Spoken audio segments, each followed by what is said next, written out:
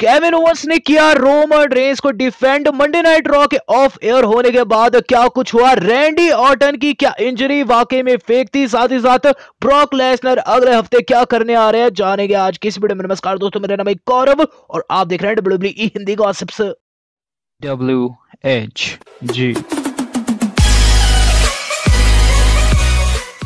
तो आज आज की इस वीडियो के अंदर हम बहुत सारी खबरें कवर करने वाले हैं। सबसे पहले दोस्तों, बात करते हैं मंडे नाइट रॉ की। तो मंडे नाइट रॉ आज की काफ़ी बढ़िया थी, लेकिन उसका मेन इवेंट मुझे काफ़ी घटिया लगा, जहाँ दोस्तों रॉ के अंदर बढ़िया बढ़िया मैचेस थे। वहीं दोस्तों, अंतिम क्षणों में हमें शादी देखने को मिली लाना की, जो कि हो नहीं पाई, क्योंकि दोस्तों, वहाँ हमें बार बार इंटरप्शन देखने को मिला। कभी लाना का पूर्व पति तो कभी लैशली की पूर्व पत्नी। अंतिम क्षणों में दोस्तों, वहाँ ये पता चलता है कि लाना एक लेस्बो है, और उसके बाद रूसेव का केक फाड़ कर निकलना। एक तरीके से दोस्तों नस्ता नाबूद कर दिया गया शादी को। लेकिन बात करी जाए रॉ के खत्म होने के बाद क्या हुआ? तो गाइस रॉ के खत्म होने के बाद हमें ये थिंग देखने को मिली कि लाना के पूरे मुँह के ऊपर केक लगा हुआ है और वो रोने लगी हुई है। वहीं ऊपर रूसेफ के चेहरे पर भी थोड़ा बहुत केक लगा है, जिसे वो चाट चाट कर खाई जा रहे हैं। उसके बाद दोस्तों, दोनों क्या करते हैं? यानी कि लिव मॉर्गन और रूसिफ क्या करते हैं कि लाना के ऊपर थोड़ा थोड़ा केक फेंकने लग जाते हैं। और लाना वहाँ पड़ी पड़ी बिलखती रहती है। तो गाइस काफ़ी फनी सिनारियो देखने को मिल गया रॉ के ऑफ़ एयर होने के बाद। और जैसी स्टोरी लाइन लग रही है, लग रहा है ऐसा कि गाइस अब रूसेफ को साथ मिल जाएगा लिम मॉर्गन का। और आगे जाकर हमें इन दोनों टीम्स के मध्य एक मिक्स्ड टैग टीम मैच भी देखने को मिल सकता है। बट गाइज़ अब हम चलते हैं इससे अगली न्यूज़ के ऊपर। तो गाइज़ इससे अगली न्यूज़ जो हमारी जुड़ी हुई है, वो जुड़ी हुई है द बीस्ट ब्रॉक लेसनर से। तो आप जानते हैं ब्रॉक लेसनर के ऊपर डब्ल्यू वालों ने चीज़ कह दी है कि अगले हफ़्ते आपके चैंप, यानी कि डब्ल्यू चैंप ब्रॉक लेसनर आने वाले मंडे नाइट रॉ के अंदर। और ये रॉ रहेगी दोस्तों साल की पहली रॉ 2020 6 तारीख 6 जनवरी को हमें ब्रॉक के फिर से दर्शन देखने को मिलने वाला है। बट गाइस सवाल उठता है ये कि ब्रॉक वहाँ क्या करने आने वाले हैं। तो गाइज़ यहाँ दो सेगमेंट्स बताए जा रहे हैं। प्रोबेबली इनमें से एक चीज़ आपको देखने को मिल सकती है। दो सेगमेंट्स किस तरीके से हो सकते हैं कि पहला सेगमेंट तो ये रह सकता है प्रोबेबली कि ब्रॉक लेसनर के फाइट के लिए, यानी कि दोस्तों उनकी अगली चैंपियनशिप फाइट के लिए कोई ओपोनेंट चुना जाए। यानी कि नंबर वन कंटेंडरशिप का मैच जहाँ ब्रॉक लेसनर आराम से रैंप के ऊपर कुर्सी लगाकर बैठकर देखे सब कुछ, ये चीज़ देखे कि कौन उनका नया ओपोनेंट बनता है। और दूसरी थिंग ये कि ब्रॉक का रिटर्न तो हो ही हो, लेकिन वहाँ एक और व्यक्ति का रिटर्न हो, यानी कि केन वलस्किस का।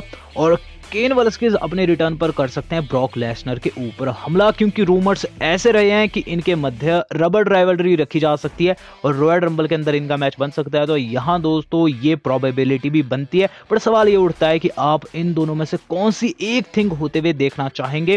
वहाँ नंबर वन कंटेनरशिप का मैच होना चाहिए या फिर होना चाहिए ब्रॉक पर हमला। बर्ड गाइज़ अब हम चलते हैं इससे अगली न्यूज़ के ऊपर। तो गाइज़ इससे अगली न्यूज़ जो हमारी जुड़ी हुई है, वो जुड़ी हुई है एपेक्स प्रेडिटर रैंडी ऑटन से। तो आप जानते हैं, आज रैंडी ऑटन इंजर्ड आए थे, लेकिन अचानक से उन्हें क्या हो जाता है कि वो एजे को लगा देते हैं आर क्यू जिसे सुबह वाली वीडियो में हम डिटेल में डिस्कस किए हैं। लेकिन क्या वाकई में रैंडी ऑटन इंजर्ड थे? क्या वाकई में रैंडी ऑटन इंजरी से निकलकर आर क्यू जड़े हैं? तो आपको मैं बता दूँ, रैंडी ऑटन ने ये चीज़ पहले से ही प्लान कर रखी थी, और ये थिंग दोस्तों उसी लाइव इवेंट से स्टार्ट हो गई, जिसके अंदर वो फेस किए थे एजे को, यानी कि हर्षी वाला। रैंडी ने सब कुछ प्लान करके रखा था। और यहाँ दोस्तों एजे उनकी बातों में आ भी गए। एजे को वाकई में लगा एजे को क्या दोस्तों, सभी को मुझे भी खुद ऐसा लगा कि रैंडी इंजर्ड है।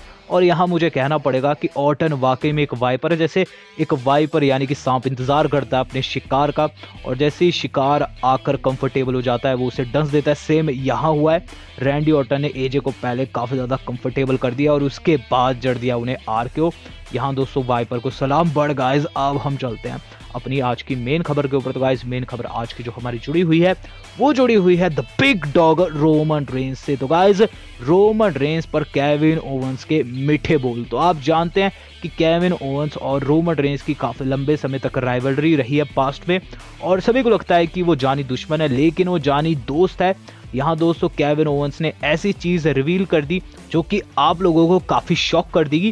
केविन ओवंस ने ये चीज़ कही कि मैं रोमन रेंस की इतनी रिस्पेक्ट करता हूँ कि अगर कोई उसे कुछ बोल दे तो मैं उस बंदे को ब्लॉक कर देता हूँ। तो हाल ही में दोस्तों कैविन ओवंस हमें देखने को मिले बुक कटी के पॉडकास्ट में और इस पॉडकास्ट में उन्होंने ये चीज़ रिवील की कि वो रोमन रेंस की डब्ल्यू के अंदर सबसे ज़्यादा रिस्पेक्ट करते हैं। कैविन ओवंस बोले कि रोमन एक काफ़ी बढ़िया बंदा है, लेकिन हमेशा से उसे हेट मिली है, बिन बात की हेट मिली है। और मैं काफ़ी ज़्यादा परेशान आ चुका हूँ इस नेगेटिविटी से। जब भी कोई बंदा उसकी फैमिली के बारे में बोलता है, उसके बारे में बोलता है तो मैं उसे सीधा ब्लॉक कर डालता हूँ ट्विटर के ऊपर। कुछ भी नहीं देखता कि वो बंदा कौन है, क्योंकि मैं चाहता हूँ कि नेगेटिव थिंग्स मेरे अराउंड ना रहे। और रोमन रेंज जो है, उसकी मैं काफ़ी ज़्यादा इज़्ज़त करता हूँ, उसने बहुत कुछ देखा है।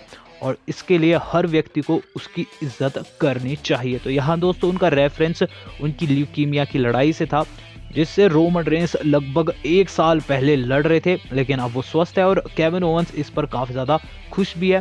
वेल well, दोस्तों रोमन रेंस को बहुत से लोग रिस्पेक्ट करते हैं बहुत से लोग रिस्पेक्ट नहीं करते हैं पर गाइस सभी की अपनी अपनी चॉइस है कि आप रोमन रेंस की रिस्पेक्ट करते हैं या फिर नहीं। कमेंट करके मुझे बताएगा ज़रूर। पर गाइस आज की वीडियो इतनी थी। पसंद आई वीडियो को लाइक ज़रूर कीजिएगा और आप सभी को अगले वर्ष यानी कि 2020 की एडवांस में शुभकामनाएँ हैं। हैप्पी न्यू ईयर खुश रहिए, मदमस्त रहिए। बहुत से लोगों को सवाल था कि फेस कैम नहीं आ रहा भाई आपका। तो फेस कैम भी आने वाला है। टेंशन की कोई भी बात नहीं है। जनवरी का मंथ रहेगा। फेस रिवील का मंथ। और गाइस आज तक के लिए इतना ही। धन्यवाद। शब्बा खैर।